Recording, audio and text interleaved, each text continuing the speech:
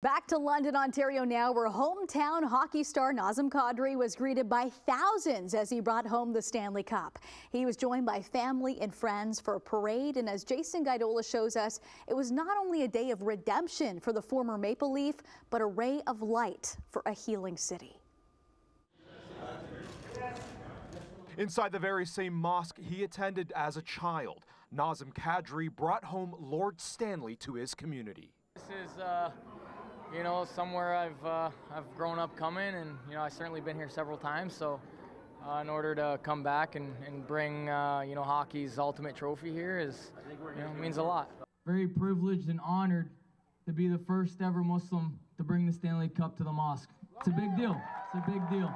Beginning at London Muslim Mosque, the hometown heroes Stanley Cup celebration took place after claiming hockey's biggest prize with the Colorado Avalanche this summer.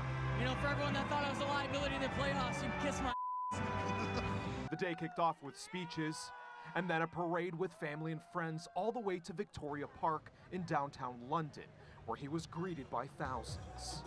Kadri all the way, man, all the way for life. Thanks for the cup. Following Kadri since he since he got drafted to the Leafs, and I've been so proud of him. Unbelievable, man! Look at the turnout. Uh, so cool to see his community all rallying around him, and big win for the whole city. Since being drafted by the Toronto Maple Leafs in 2009, a spotlight has been on the feisty forward. Not even a Stanley Cup champion is immune to the dirty grasp of racism and today he returns home to a community still suffering from an attack that killed a Muslim family of four back in the summer of 2021. But we are a strong community who learns how to cope. Today, we are going from that chapter of the tragedy into a chapter of ease. As for Kadri's family, they wanted to inspire Londoners.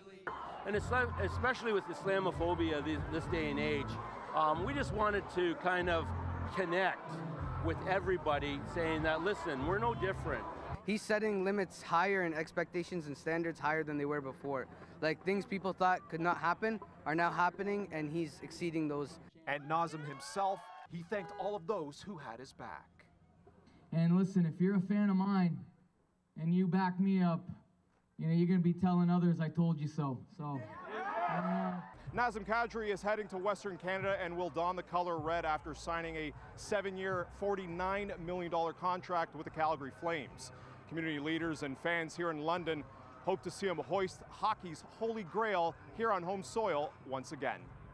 From London, Jason Gaidola, CHCH News.